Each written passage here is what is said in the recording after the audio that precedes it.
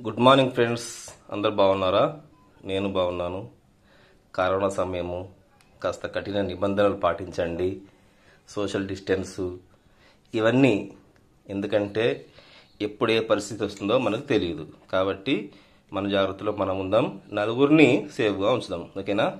చూడండి ఇవాళ మీకోసం పదే పది నిమిషాల్లో ఈజీగా తయారయ్యే చూడండి సేమియా ఉప్మా తయారు చేయడం ఎలాగో చూపిస్తాను. ఇది సేమియా ఉడికించిన సేమియా అండి. పది రూపాయల ప్యాకెట్ ఉంటుంది కదా అది. ఆ పది రూపాయల ప్యాకెట్లో ఉన్న సేమియాని నేను మొదట చక్కగా వేయించాను ఎర్రగా. చూస్తున్నారు కదా? వేయించి ఎక్కువగా నీళ్ళు పోసి ఉడికించాను. కొంచెం మెత్తగా కాగానే దీన్ని వడగట్టేసి ఒక నిమ్మకాయ పిండి వదిలేశాను. నిమ్మకాయ పిండడం వల్ల టేస్ట్ వస్తుంది. మళ్ళీ ఈ విధంగా చూడండి. పొడి పొడిగా మనకి సేమియా వస్తుంది. అయితే ఇందులోకి మనకు కావాల్సిన వస్తువులు చూసుకుందాం. చూడండి. ఉల్లిగడ్డలు ఒకటి ఒకటి పచ్చిమిరపకాయ ఒకే ఒక టమాటా కాస్త కొత్తిమీర కాస్త కరివేపాకు. దీనికోసం కొంచెం జీడిపప్పు తీసుకున్నాను. రంగంలోకి వెళ్దామా? యుద్ధం చేద్దామా? రండి. టేస్ట్గా ఉండే మీకు ఈ ఉప్మాన్ని ఎలా చేయడం చేస్తూ చెప్తాను. ఒక విషయం చెప్పడం మర్చిపోయాను నేను. ఇది ఉడికేటప్పుడు నేను అర చెంచా ఉప్పు వేసాను. ఇలా వేయడం వల్ల దీన్ని కూడా కొద్దిగా పట్టి చాలా టేస్ట్గా ఉంటుంది. వీలైతే మీరు ఒక స్పూన్ నెయ్యి కానీ నూనె కానీ చల్లితే ఇంకా ఇలా పొడి పొడిగా ఉంటాయి. చూస్తున్నారా? నేను స్టవ్ వెలిగించాను. ఇందులో నూనె పోసాను. నూనె కాగిపోయింది. ఇందులో కాస్త జీలకర్ర ఆవాలు వేసుకుందాం. ఇంకా కాగలేదు. తొందరపాటు ఎక్కువ నాకు. ఇవి కాగే లోపు చూసారు కాగుతూనే ఉంది. చిటపడలు ఆడాలి. అంటారు కదా? చిటాపట చినుకులతో కురిసింది వాన మెరిసింది జాన. రాత్రి ఫుల్ వర్షం మా ఇంట్లో. మీకు గోదావరి కనలండి మాది. మీకుందా? సరే నేను ఇప్పుడు ఉల్లిగడ్డలు వేస్తున్నాను అందులో.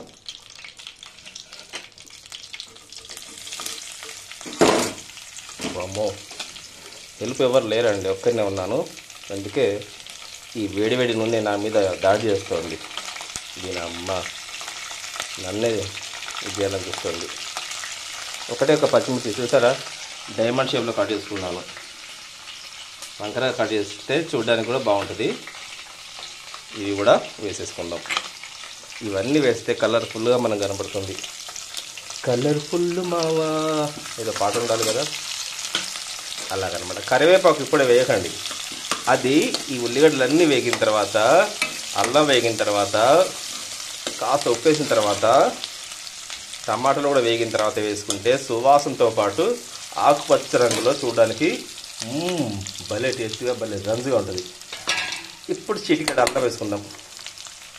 చిటికెడ అంటే మరీ చిటికెడే కాదు చిన్న స్పూన్ అనమాట చూస్తున్నారా? సరిపోద్ది ఈ వాసనకే ఘుమఘుమలాడిపోవాలి ఒక్కటి గుర్తుపెట్టుకోండి అందరూ. నా తరహా చెప్తున్నాను. ఈ ఉల్లిగడ్డ అల్లము ఇవి వేగేటప్పుడే మనము కొద్దిగా ఉప్పు వేసుకోవాలి. ఉల్లిగడ్డ మెత్త తొందరగా ఇదవుద్ది.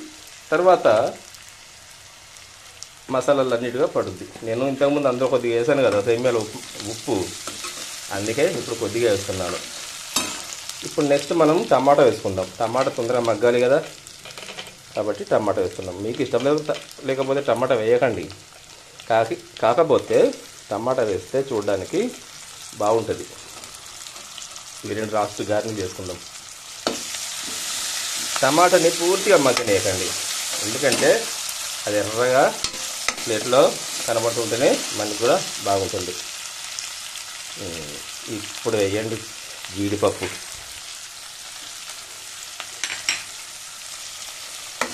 మామూలుగా మనం మామూలు జీడిపప్పు ఉప్మా చేసుకున్నప్పుడు జీడిపప్పుని విడిగా వేయించి పక్కన పెట్టుకోవాలి. ఎందుకంటే తర్వాత నీళ్ళు పోస్తాం కదా ఆ నీళ్ళలో నానిపోద్ది. ఇప్పుడు మనం ఆల్రెడీ సేమ్యాన్ని ఉడకబెట్టుకున్నాం కాబట్టి ఈ జీడిపప్పుని ఇందులో వేయడం వల్ల ఎటువంటి మెత్తబడ్డం లాంటి సందేహాలు మనకి అవసరం లేదు. ఇప్పుడు వేయండి కరివేపాకు.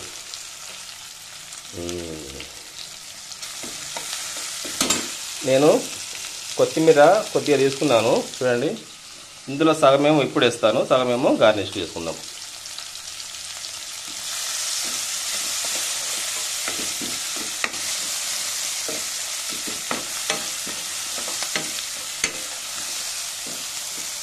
కనపడుతుందా మీకు?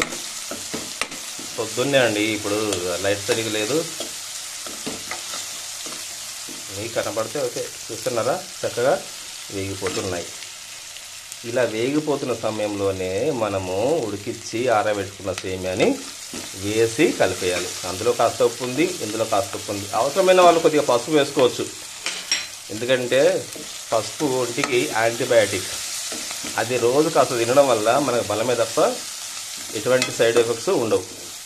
నేను ఇవాళ వేయట్లేదండి. ఎందుకంటే ఆ సేమియాలు చూడడానికి పసుపు రంగులో ఉన్నాయి. ఇంకా వేరే కలర్ వద్దని చెప్పి వేయలేదు. ఇప్పుడు సేమియా వేసేసుకుందాం. ఇది ఒక ప్యాకెట్ ఇద్దరు సరిపోద్ది. ఇలా కలయబెట్టుకోండి. ఎక్కువ కలబెట్టాల్సిన అవసరం లేదు ఎందుకంటే మనం ఆల్రెడీ సేమియా ఉడికించాం సేమియా ఉడికితే అయిపోయినట్టే తాలింపు అయిపోతే అది ఉప్మా అయిపోయినట్టే అర్థం.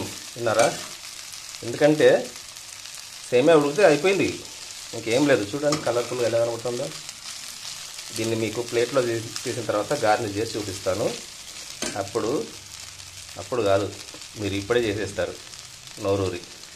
చూడండి మిగిలిపోయిన టమాటాలు కొత్తిమీర వేసాను చూడండి పైన కొద్ది కొద్దిగా జీడిపప్పులు కనబడుతూ కలర్ కలర్గా ఇది ఎంతో అందంగా చూడడానికి చూడండి స్పూన్తో తీయగానే వస్తుంది.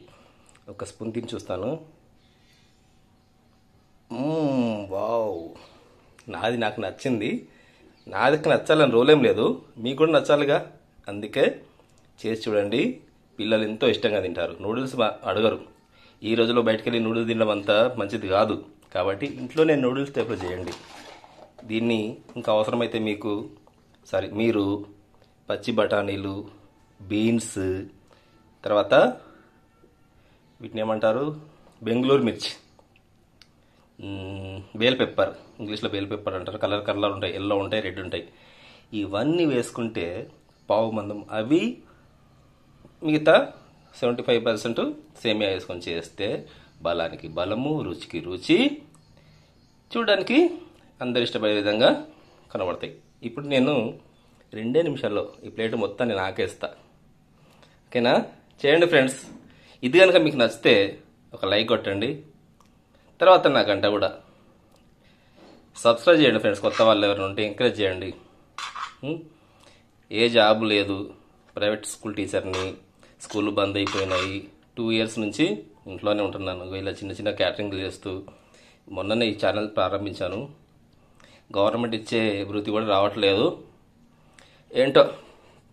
బతకలేక బడి అని ఒకప్పుడు అన్నారు. అది ఇప్పుడు వర్తిస్తోంది. మాలాంటి వాళ్ళకి private టీచర్లకి okay friends all the best God bless you all అందరూ క్షేమంగా ఉండాలి.